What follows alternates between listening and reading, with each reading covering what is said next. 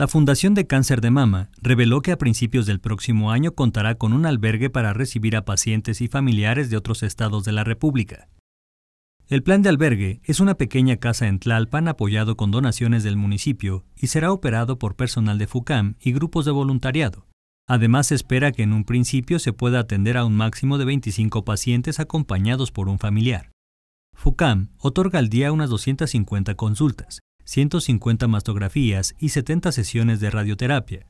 Los pacientes, además de la Ciudad de México y el Estado de México, provienen de Puebla, Hidalgo, Tlaxcala, Oaxaca, Chiapas, Guerrero, Morelos y Veracruz.